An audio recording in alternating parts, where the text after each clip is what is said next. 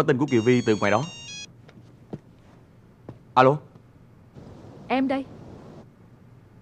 Anh đang ở chỗ Tri Nương. Có cả anh Bình nữa. Em nói chuyện với anh Bình nghe. Khỏi cần. Anh nói ngay với mọi người là anh Thịnh đang trên đường đón anh Trọng về. Thiệt hả? Sao tình hình bỗng nhiên thuận lợi vậy?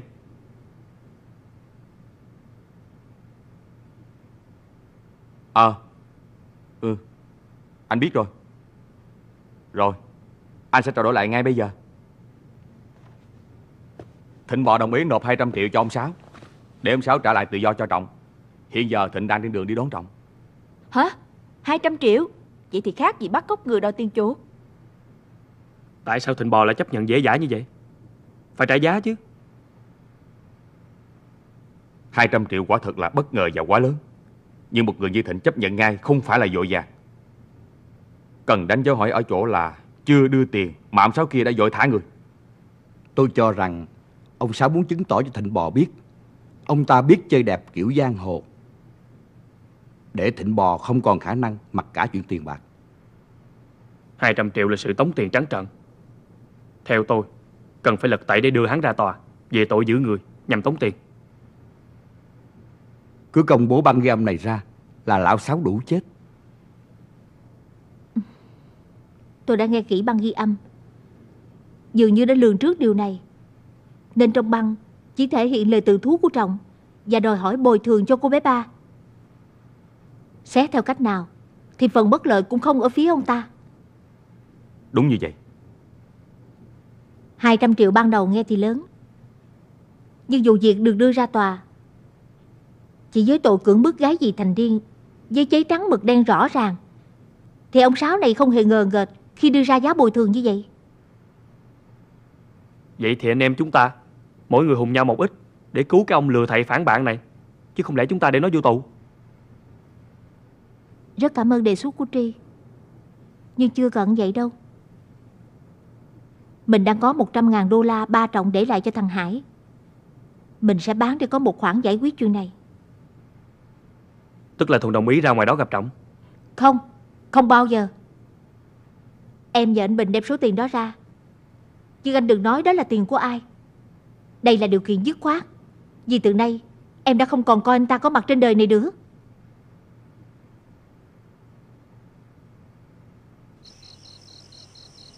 Anh ra ngoài đó lo vụ của Trọng. Tôi không lo cho Trọng mà lo cho Thịnh. Thịnh thực ra là người tốt, có bản lĩnh Cũng có thông minh và mưu lược. Cậu ấy chỉ quên một điều là Giang hồ ngày nay. Không có mấy người có nghĩa khí trượng phu như cậu ấy.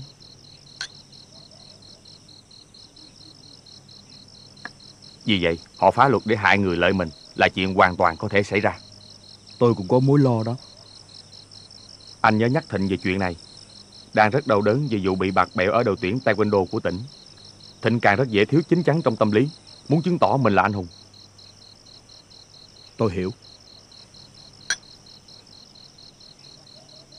Trời.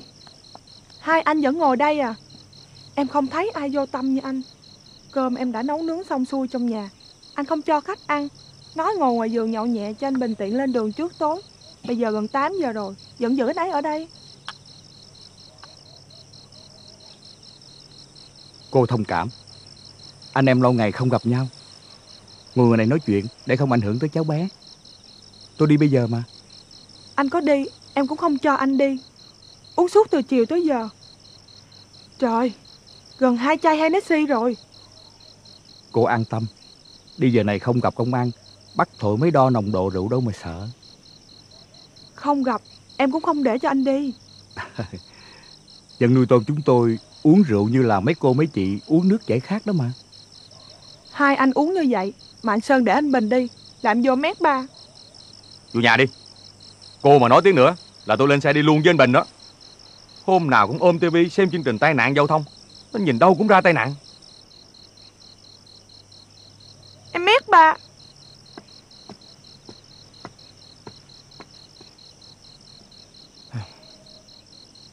Có lẽ mình cũng chia tay thôi. Thua vợ là cái đau nhất trong đời người đàn ông. Nhưng thà thua đi yên ấm cửa nhà Còn hơn là thắng. Còn một chuyện nữa. Chúng ta cần phải nói với nhau Tôi biết anh định nói chuyện gì rồi Anh không nên nói nữa Tôi chúc anh và Kiều Vi hạnh phúc Anh nói vậy là anh vẫn chưa hiểu tôi.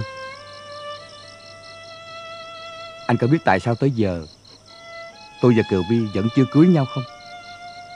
Nghe nói anh muốn chờ mãn ta Nói vậy để tránh cho Kiều Vi một quyết định hôn nhân vội vàng. Cô ấy quyết định lấy tôi vì cả hai cùng chung hoạn nạn, cùng cưu mang nhau cho tới tận hôm nay. Nhưng cô ấy vẫn yêu cậu và tôi biết, cậu vẫn chỉ yêu mình cô ấy. Tôi quản cưới cũng là cách để cho hai người có thể trở lại với nhau. Trễ rồi Quá trễ rồi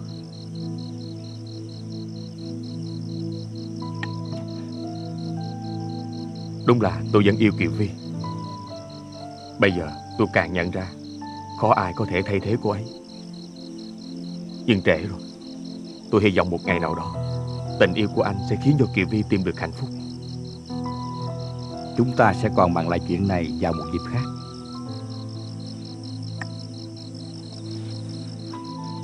Tạm biệt anh. Anh nhớ dặn Kiều Vi uống thuốc thư ra Và vẫn tiếp tục kiêng ăn hải sản Tôi sẽ nói.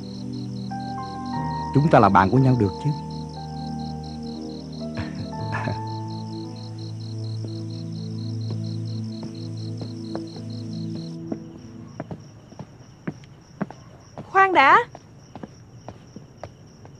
Lại chuyện gì nữa đây? Cô thấy dân nuôi tôm chúng tôi tử lượng cao chưa? Hoàn toàn tỉnh táo. Và chắc chắn giờ này không có một công an nào bắt chúng tôi thổi vào máy để đo nồng độ rượu hết. Dạ không phải Đây là đồ ăn đường cho anh Và chút quà vợ chồng em gửi cho chị và các cháu Anh từ miền Trung vô Anh Sơn vô ý đã đành Em cũng lại đoản nữa Chị ấy là cười cho Tôi vô cùng cảm ơn cô. Giờ cô chú đáo mà tôi cũng được nhờ. Vì chính tôi cũng quên mất mua quà cho bà xã và với đứa nhỏ. cảm ơn cô.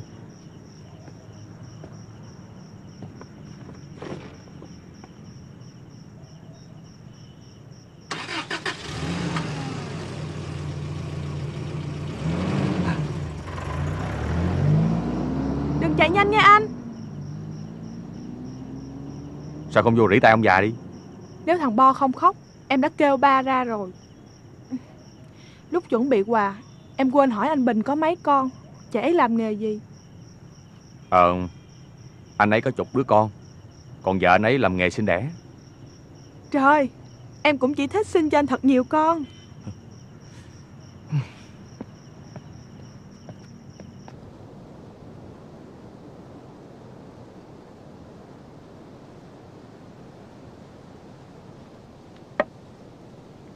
Sao giờ này Kiều Vi vẫn chưa về vậy? Anh Thịnh nè, tôi nghĩ mình nên tìm cách quỷ cuộc gặp này. Vì sao tẩm mua ma trước quỷ lắm. Cứ để tôi trốn đi đâu, nằm yên một thời gian rồi sẽ tính. Đến lúc này Ông đừng cản ngăn tôi nữa Quân tử nhất ngôn Lão Sáu đã cho ông tự do Tôi có đến để nhận cái chết cũng phải đến Mặt khác Tôi trốn Ông cũng trốn luôn Anh Bình và Kiều Vi ở lại lãnh đủ An tâm đi. Tôi không thua lão ta đâu. Đủ rồi. Đúng 200 triệu. Vàng đang lên giá Nên mình bán cũng có lời.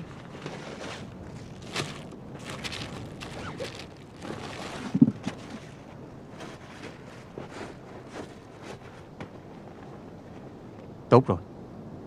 Xin lỗi. Tôi có chuyện riêng muốn nói với Kiều Vi một chút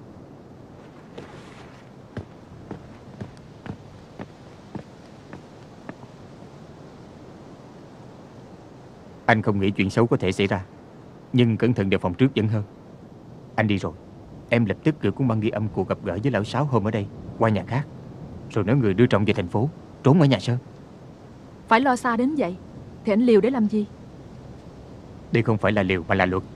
Rất có thể lão Sáu được sự ủng hộ của Phó Chủ tịch huyện Cho công an bắt anh. Bằng cách vu cáo chuyện gì đó. Nhưng em đừng cho Trọng biết. Anh ta đang rất nhát. Em hiểu rồi Em mong sự việc không xấu như anh nghĩ. Kiều Vi hả? Em khỏe không? Vẫn khỏe. Anh Bình đang trên đường ra Chắc sáng mai tới nơi. Mang theo cả tiền của Thuần gửi ra chuột trọng. Thịnh có đó không? Anh Thịnh đang còn ở đây. Anh Sơn cần gặp anh. Xin chào. Ông chưa đi gặp ông Sáu à Tôi đi bây giờ đây. Tôi đã bàn kỹ chuyện này với anh Bình. Theo tôi Ông nên chờ anh Bình ra trao đổi kỹ rồi hãy đi. Chúng ta chấp nhận trả tiền cho ông Sáu. Nhưng cũng cần biết rõ Đằng sau chuyện này có gì mà ám. Chờ anh Bình ra trễ hẹn là điều tối kỵ. Và nếu lỡ Sáu có gì khuất tất Thì thịnh bò của ông cũng không hới gì. Về pháp luật thì cũng không có gì phải sợ. Xong việc Tôi sẽ báo tin mừng. Chúc mọi chuyện tốt lành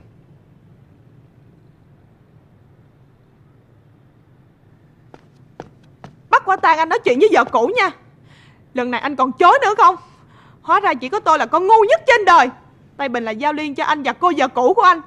Vậy mà tôi còn lo đồ nhậu cho anh ta Mua quà cho cả vợ con anh ta. Tôi phải kêu ba má lên xử chuyện này. Cô đi đi.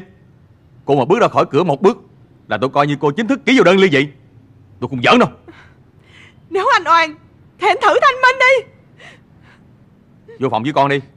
Lúc khác tôi sẽ thanh minh Đang bao nhiêu chuyện muốn bể cả đầu. Lại còn thích gây sự. Tôi biết ơn anh suốt đời. Chuyện ở nhà tôi đã dặn Kiều Vi rồi. Lúc này Ông đang hoảng loạn Nên phải biết nghe lời tụi tôi.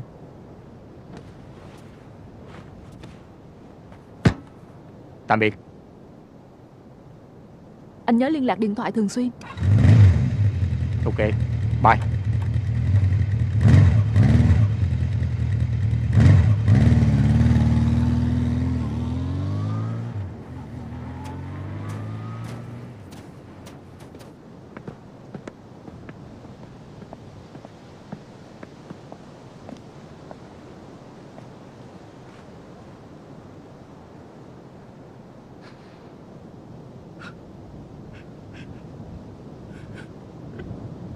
Đừng khóc nữa. Anh Thịnh nói phải đưa anh về thành phố ngay bây giờ. Tại sao? Anh Thịnh nói là để đề phòng tình hình xấu nhất. Xấu nhất là sao? Việc để cho anh tự do trước Vừa chứng tỏ cử chỉ đẹp của lão Sáu Vừa khiến cho anh Thịnh không thể từ chối những điều kiện của lão đặt ra. Nhưng cũng có thể là cái thế Để cho hắn lật ngược thế cờ. Nếu vậy thì tôi sẽ không đi đâu hết Thịnh có mệnh hệ nào? Tôi có đáng là con người nữa không? Các bạn đã rộng lượng Và hy sinh cho tôi quá nhiều. Trong khi tôi không đáng được hưởng chút nào Từ lòng tốt của các bạn. Giờ phút này, Xin Kiều Vi hãy cho tôi chia sẻ khó khăn cùng với các bạn. Nếu vậy, Thì chờ anh Bình ra đây rồi tính.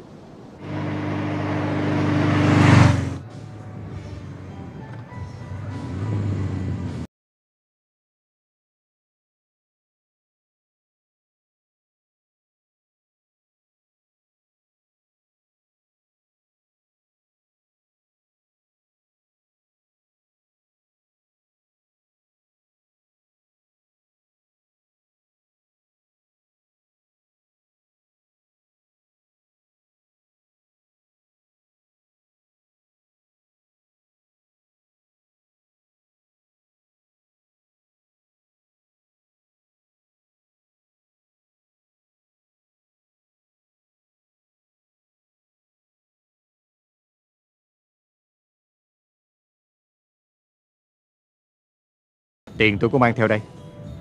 Nhưng anh phải trả tôi giấy cam kết do anh Trọng viết. Anh Thịnh Bò thận trọng quá Nên tôi cũng muốn được nhìn thấy tiền Trước khi đưa giấy tờ cho anh. Thịnh Bò Anh bị bắt quả tay vì tội đưa hối lộ. Về nhà ngay Việc của mày đã xong rồi. Tại sao lại để cô bé ba đi? Chúng tôi chỉ thấy ở đây có hai người. Tôi thay mặt anh Trọng đến đây trả tiền cho anh Bảy Tứ Theo cam kết của anh Trọng và anh Tứ Về một chuyện nội bộ của gia đình ông Sáu Tẩm.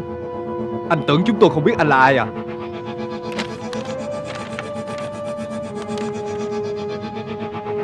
Anh đọc đi rồi hết chối.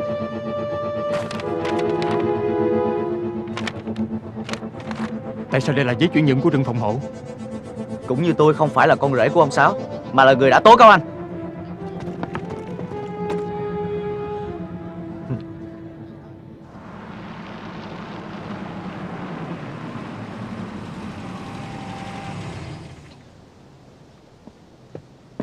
nghĩ phải hơn một giờ nữa anh mới ra tới chứ. Anh Bình Chào anh. Anh phải chạy tốc độ tối đa. Nghe tin Thịnh đi rồi Anh rất hối hận Vì tối qua anh đã ngồi quá lâu ở nhà Sơn. Chúng tôi cũng đang sốt ruột Vì từ lúc đi Thịnh chưa gọi điện thoại lần nào gì đấy. Chuyện rất phức tạp. Bạn bè đã lo đủ 200 triệu. Đưa tôi mang ra cho chú. Làm sao có lẽ vậy? Chuyện đó dài dòng để nói sao Bây giờ chú vào lấy đồ. Tôi đưa chú về Sài Gòn ngay bây giờ. Thịnh bò Nó lo xa là đúng. Nhưng mà Chuyện này tôi đã nói với Kiều Vi. Anh Trọng muốn ở lại Cùng chia sẻ với anh Thịnh Cả những chuyện xấu nhất. Không được. Có những chuyện xấu có thể chia sẻ Nhưng có những chuyện xấu không thể chia sẻ được. Vì người như chú mà lãnh đòn Thì chết cả lũ Lấy đồ ra xe đi. Anh cầm một ít Khi cần có cái mà xài nha. Cảm ơn Kiều Vi Tính tẩu thoát à? Anh biết vì sao chúng tôi tìm anh rồi chứ?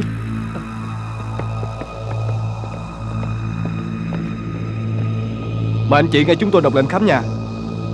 Chúng tôi phải được biết tại sao. Anh chị cứ nghe đọc lệnh sẽ rõ. Chúng tôi luôn thực hiện đúng pháp luật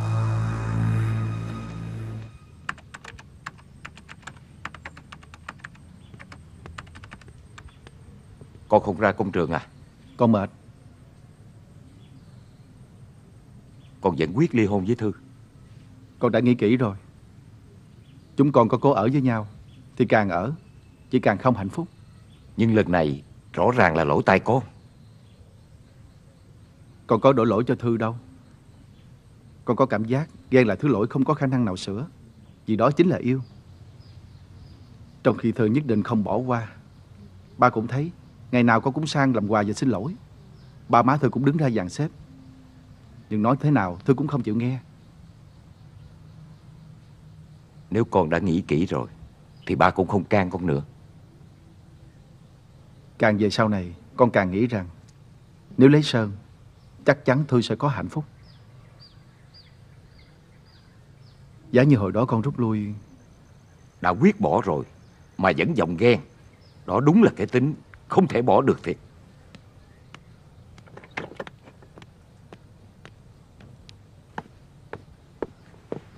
Tôi tưởng cha con ông ở công trường. Bà vô đây Mà duyệt đơn ly hôn của con trai bà. Con bỏ nó à? Không phải như vậy là đúng ý của má hay sao? Bây giờ ý má khác rồi. Ông cũng đồng ý với nó hay sao? Can không được Thì tôi mặc nó Muốn làm sao thì làm.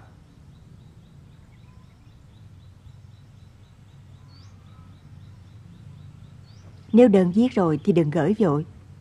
Để má gặp con Thư coi sao đã.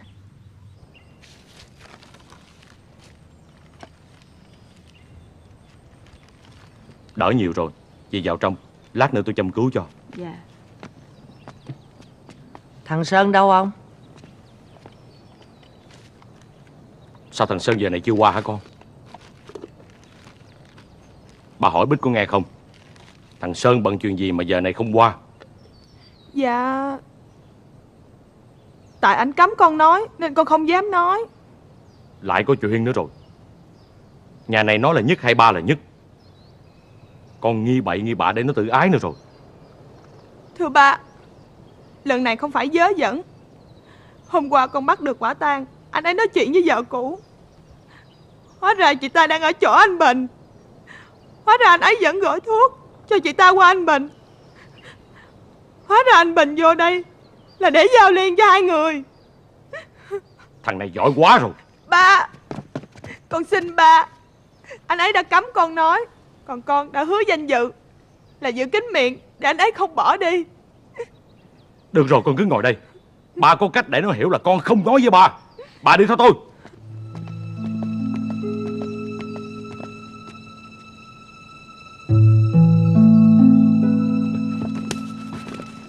Ra quỳ đằng kia cho ba hỏi tội. Thưa ba Con có tội gì? Ra quỳ Ba sẽ nói còn tội gì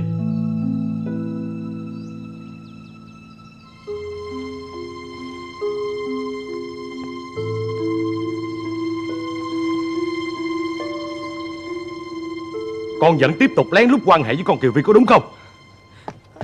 Ôi ba ơi Sao ba bắt chồng con quỳ? Ba đã đánh anh chưa? Vừa rồi con xạo con nói dối ba. Chứ thực ra anh ấy không hề quan hệ gì với chị Kiều Vi Ba tha cho anh ấy đi ba. Má Má xin ba tha cho chồng con đi má. Má cũng thấy con đâu có tính nói. Con cũng lại ngồi một chỗ đi. Con nói hay không nói Nói thật hay nói dối Thì nội cái vụ có vợ rồi mà vẫn lén lút quan hệ với vợ cũ Là không thể chấp nhận được Anh tha lỗi cho em. Em đâu có ngờ ba phạt anh quỳ như vậy.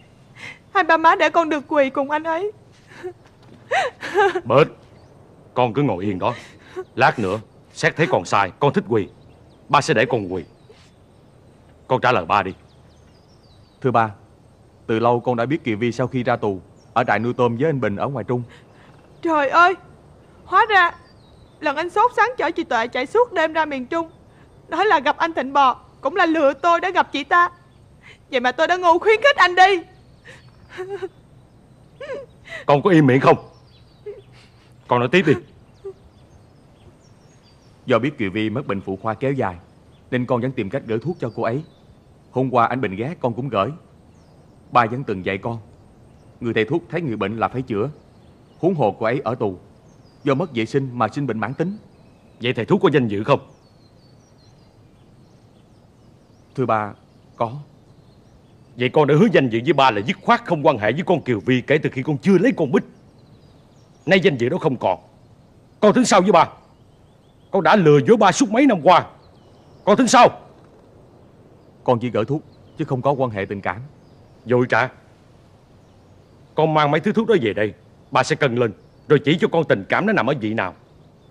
Hãy nghe bà nói đây. Con không còn xứng đáng là con của ba nữa Nên ba cho con 24 giờ. Suy nghĩ thật kỹ Rồi tự chọn lấy con đường của mình. Ba ơi Con xin ba tha cho anh ấy lần cuối cùng. Thưa ba Từ sáng tới giờ con chỉ chờ có cú điện thoại này. Quỳ xuống Con đang bị phạt mà. Con Bích Tới nghe điện thoại coi của ai. Alo. Alo làm ơn cho tôi gặp anh Sơn. Xin lỗi Chị là ai à? Bích hả? Chị là Kiều Vi Chị rất cần gặp anh Sơn. Thưa ba Chính chị Kiều Vi.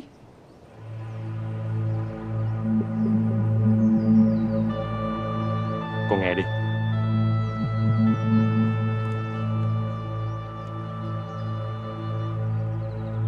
Alo? Anh Thịnh và anh Trọng bị bắt rồi. Sao lẹ vậy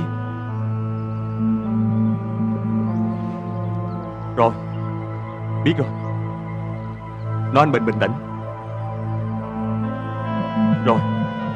Anh sẽ thông báo cho các bạn.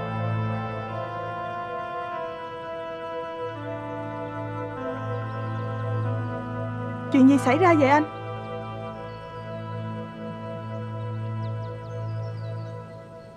Vợ hỏi mà không thèm nói à? Con xin lỗi. Cả Thịnh và Trọng đều bị công an bắt Tại sao Thịnh và Trọng lại ở cùng chỗ của ta? Chuyện này dài, Con xin phép được nói sao? Bây giờ con phải báo tin cho các bạn biết.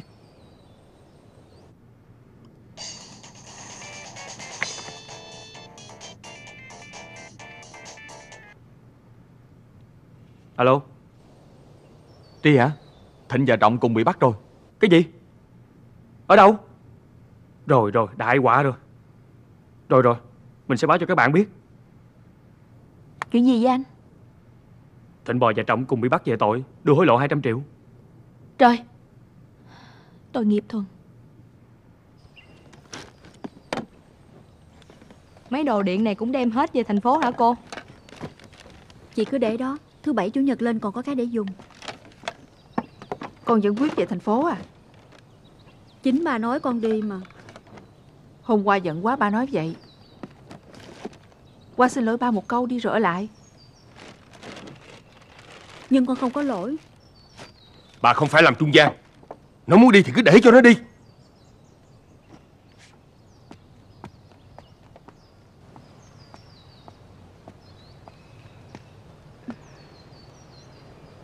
Ba má đều biết là con không hề muốn về thành phố. Hai mẹ con về đây là mong tìm được niềm an ủi từ ba má.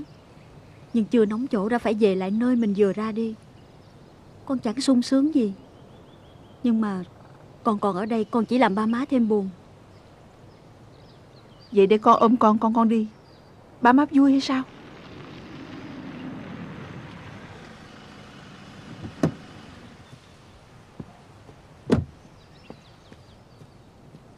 Chắc bà ấy lại đến gây sự. Con nên tránh vô bếp thì hơn. Con không việc gì phải tránh đi đâu hết á. Con mất trí rồi phải không Bà đặng qua kìa. Bà ấy qua thì sao? Mà bà cứ như thiết cọp vô nhà không biết nữa. Bà ấy có gây chuyện gì thì ông nói Chứ tôi nói không lại đâu. Bà ấy mừng Vì hai đứa đã bỏ nhau Là đúng ý bà ấy lâu nay. Còn gì nữa đâu mà gây sự. Chào chị. Dạ. Chị mới lên. Lâu lắm không lên giường Nên ít ghé qua thăm nhà anh chị. Chào anh Chào chị. Chúc mừng bản tham luận của anh được đánh giá cao nhất Tại Hội nghị Kinh tế Hội nhập Toàn cầu ở Hà Nội. Báo chí họ nói quá lên. Chị đừng có tin. Vậy còn lời mời anh qua Mỹ giảng dạy. Đọc tin này trên báo tôi thấy mừng nhất Là anh có dịp gặp lại cháu Thu đang ở bên ấy. Chưa chắc tôi đã đi đâu chị à.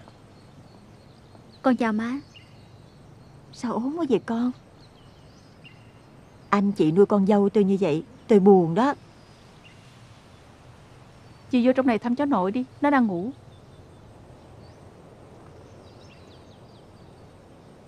Rồi tôi sẽ vô. Tôi sang đây xin phép anh chị gặp riêng cháu Thư một lát. Má con mình ra ngoài giường nói chuyện được không? Dạ. Chị Đặng nè. Gì vậy anh? Con Thư nhà tôi lấy thằng Khoa nhà chị. Theo lệ Nó là con của chị rồi Chị muốn gặp gỡ hay mang nó về nhà mắng mỏ Là quyền của mẹ chồng. Nhưng chị cũng biết thời gian vừa qua Nó gặp quá nhiều tai họa đến cùng lúc. Anh chị an tâm đi.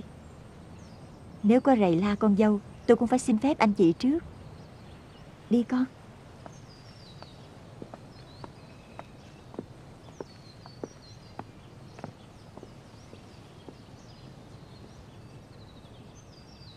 Vậy là sao hả ông cũng chịu. Có lẽ tính khí thất thường Đang là hội chứng của đời sống hiện đại. Để tôi hỏi ông Đặng coi. Alo. Bảy đang ở bên đó à? Thấy đùng đùng bỏ về. Tôi tưởng bà về Sài Gòn luôn rồi. Anh ơi, Tôi khuyên anh chị Vẫn phải đề cao cảnh giác. Không ai trên đời này hiểu bà ấy bằng tôi đâu Má còn đang ở bên ông bà xui Thế nào cũng lại gây chuyện cho coi Hay con qua bên đó Đã quyết ly dị rồi Còn qua bên đó làm gì Chuyện này chỉ nhờ anh thuyết phục con Thuần thì nó mới nghe. cũng là người có trọng trách ở cơ quan tố tụng.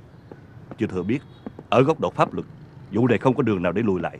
Có ai ngờ đâu trước khi chết, ông ấy lại để lại di chúc nhằm trả thù tôi như vậy.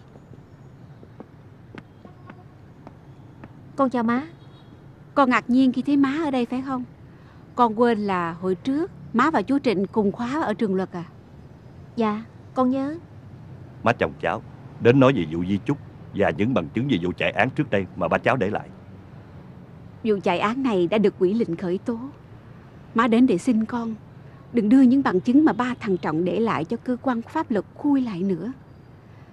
Má chỉ còn hai năm nữa nghỉ hưu, vụ án lại bị khui ra. Không những ô nhục mà còn khiến má tay trắng ngồi tù. Thú thật với má Từ khi nhận di chúc của ba Con chưa hề nghĩ gì về chuyện này Con chưa nghĩ thì má càng mất ăn mất ngủ. Có chú Trịnh đây, má bàn với con như vậy. Không biết con có chịu không? Do thằng Trọng hiện nay vẫn mất tích, nên xác nhận của Hội đồng Y khoa Bệnh viện Tâm thần về nó vẫn có giá trị. Chúng ta sẽ lấy cớ đó để không công bố những chứng cứ của ba con để lại. Nhưng Má biết điều con băn khoăn rồi.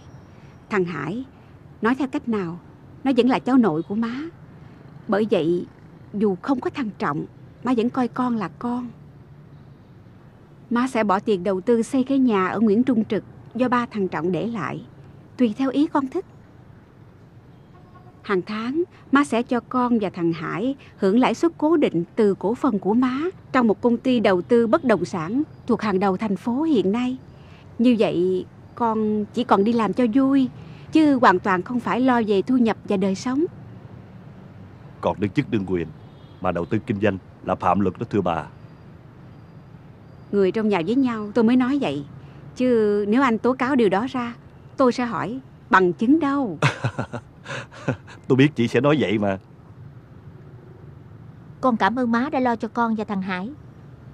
Vì má nhắc đến vụ chạy án, nên con muốn nói để má biết chủ trương của con là trước sau vẫn không muốn khui lại chuyện đã qua. Có điều, lấy cớ trọng mất tích để bỏ qua thì không được. Vì hiện nhiều người đã biết, chồng đang rất khỏe mạnh ở ngoài Trung. Thiệt vậy sao? Rõ ràng có hồi người ta nói nó chết đuối mất xác. Anh ta đã bày ra như vậy để trốn đi một nơi không ai biết. Con xin lỗi. Alo?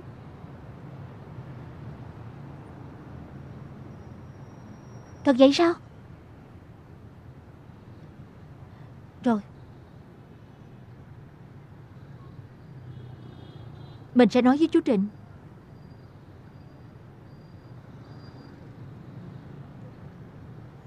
Trọng và Thịnh Bò cũng bị bắt ở ngoài đó rồi. Thằng Thịnh Bò trùm xã hội đen, má đã từng truy tố à? Dạ. Nhưng làm sao hai đứa nó dính với nhau được? Có lẽ tôi phải về. Anh Trịnh, việc tôi nhờ anh nhớ quan tâm. Tình hình thằng Trọng ra sao? Con nhớ thông báo cho má biết. Nếu nó vẫn phạm pháp trong trạng thái tâm thần, thì vẫn chưa phải là hết cửa cho nó. Tôi về nghe anh.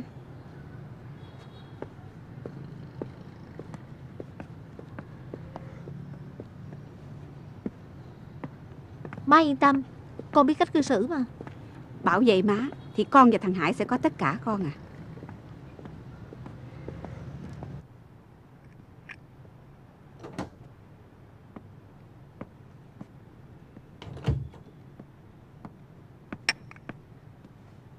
Thật đáng sợ. Bà ấy không hề nghĩ đến tai họa của con trai, mà chỉ lo thoát thân. Giờ cho tính sao? Chờ các bạn đến xem vì sao Trọng và Tình Bò bị bắt.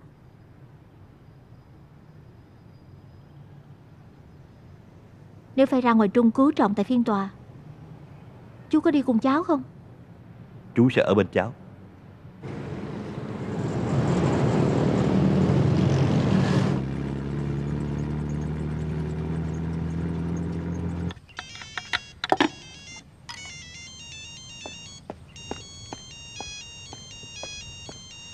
Sơn, có điện thoại. Anh Sơn, có điện thoại. Em nghe coi ai Rồi nói anh tắm xong sẽ gọi lại Anh vi phạm lệnh cấm em nghe điện thoại của anh, chứ không phải em đâu nha. Nhiều chuyện quá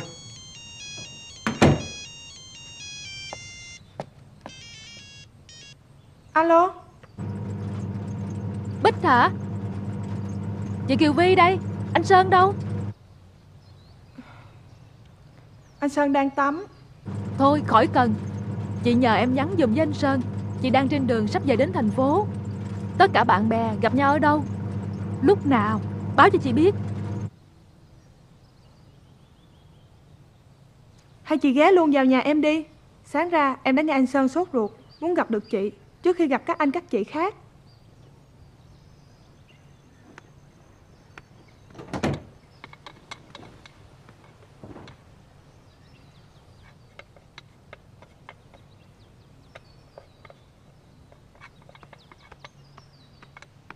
Khỏi sợ nghe lén, em biết người vừa gọi là ai rồi.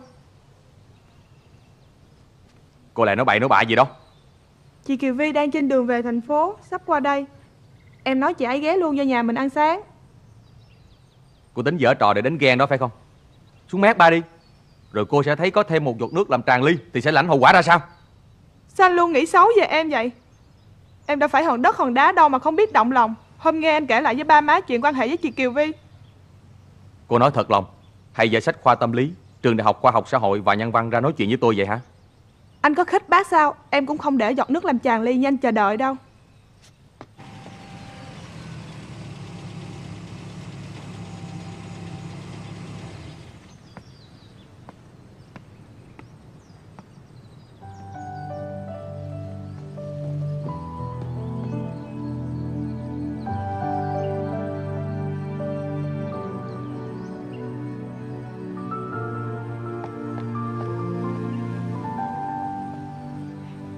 Chào chị.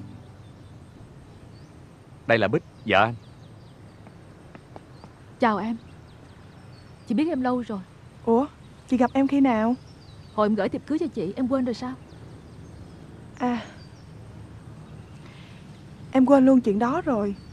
Anh Sơn nói làm đồ ăn sáng luôn cho chị Nên hai vợ chồng em cùng chờ chị. Vô ăn luôn cho nóng chị. Anh hạnh phúc quá còn gì Gọi là gì cũng được.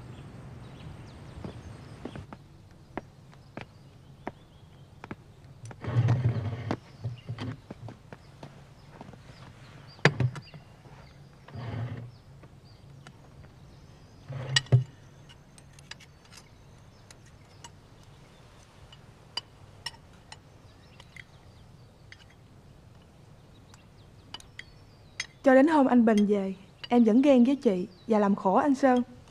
Nhưng từ nay em nhìn anh chị khác đi rồi. Khác là khác làm sao? Biết nói sao cho chính xác bây giờ. À Việc chị có chí lập nghiệp và thành công ở ngoài Trung Cộng với việc quan tâm giúp đỡ anh Thịnh Bò và anh Trọng ngoài đó Khiến các ba má chồng em và em không còn nhìn chị như trước. Em ăn lẹ đi Rồi đi luôn với anh tới chỗ chú Trịnh Sắp tới giờ cho con bú rồi đó Má chân thành xin lỗi con về tất cả những chuyện đã qua. Má biết đây là sự rộng lượng đầy khó khăn của con Nhưng má vẫn cứ yêu cầu.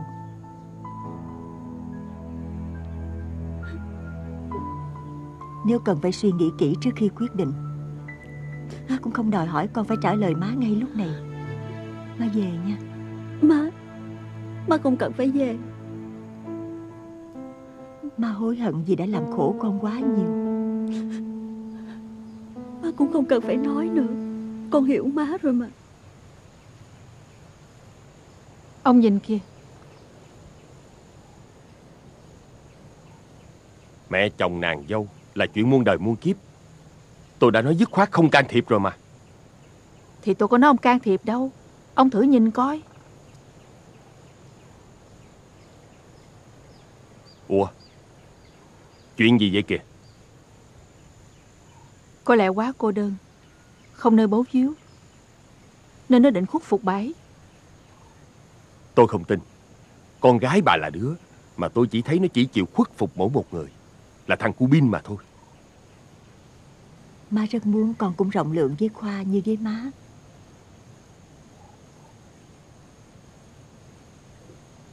Con hiểu lòng má. Nhưng con phải suy nghĩ. Và con cũng muốn má tôn trọng chuyện riêng của tụi con Con xin lỗi. Thư nghe.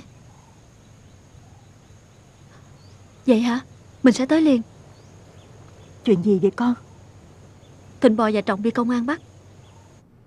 Trước khi Trọng bị bắt Thịnh Bò có khẳng định Trọng không hề phạm các tội cưỡng dâm Làm cô bé ba có bầu Cũng như không tham gia vào vụ bán 10 triệu mét vuông rừng phòng hộ.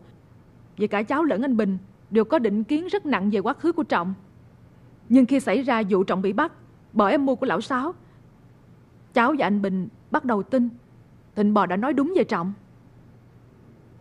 Tôi thấy trước khi bàn Thịnh Bò và Trọng có tội không? Và tội ở mức nào? Chúng ta bàn cứu họ Thì có lợi ích gì? Tôi thấy quan điểm của Khoa khó chấp nhận. Tại sao cứu người? Cứ phải có lợi ích mới cứu. Tôi không nói lợi ích cho chúng ta Mà là lợi ích cho Thịnh Bò và Trọng Động cơ nộp tới 200 triệu tiền chuộc của Thịnh Bò Là cứu Trọng. Nhưng vẫn là hành vi của giới xã hội đen. Còn Trọng Giải thích theo cách nào Vẫn chỉ là cảm tính. Chuyện cưỡng hiếp của bé ba Đã thành giấy trắng mực đen ở công an huyện. Chuyện giải thuyết trương cũng rõ ràng. Rồi chuyện giúp ông Sáu Mua bán đất đai giàu lên bất chính cũng không hề ấp mở. Vậy ta cứu họ là tốt. Hay để họ trong trại cải tạo Sau một án tù là tốt. Tóm lại, Khoa phản đối việc cứu Thịnh và Trọng.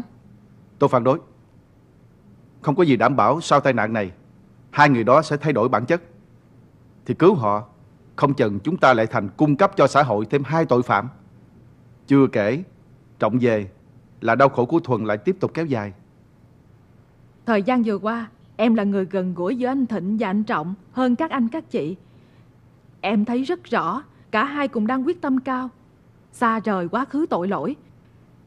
Nếu theo quan điểm của anh Khoa, em e rằng mình lại đẩy cả hai người trở lại con đường lầm lỗi. Nếu trong chúng ta Có một người thông cảm nhất cho hai người đó Chính là Kiều Vi Thì cũng dễ hiểu thôi Tôi cấm ông không được nói giọng đó ở đây. Vợ chồng tôi cũng ủng hộ trong việc bảo vệ Thịnh Bò và Trọng thì sao?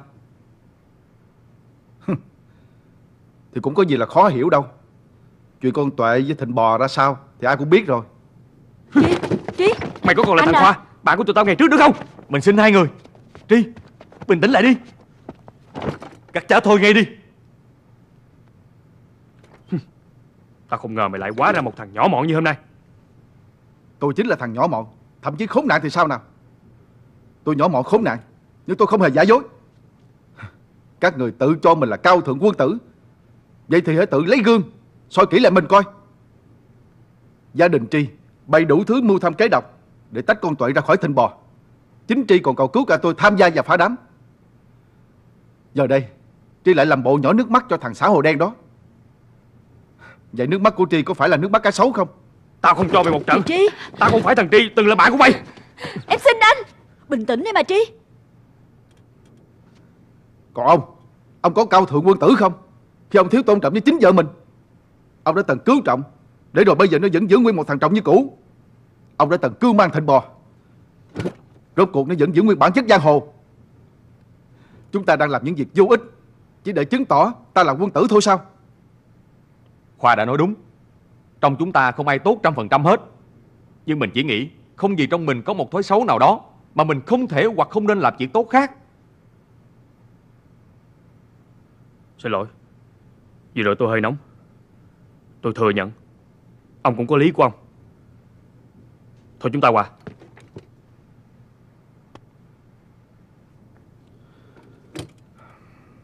Xin lỗi chú Trịnh và các bạn. Có thể tôi đã trở nên xa lạ với các bạn. Và cũng có thể các bạn đã trở nên xa lạ với tôi. Dù sao, Sự có mặt của tôi hôm nay là thừa. Nên tôi ra đi Để các bạn có được sự nhất trí. Xin lỗi Mình phải chạy theo Khoa. Khoa! Cô muốn gì? Chúng ta nói chuyện với nhau được không? Còn gì mà nói nữa? Tại sao? Tôi đã nộp đơn ly hôn ra tòa rồi.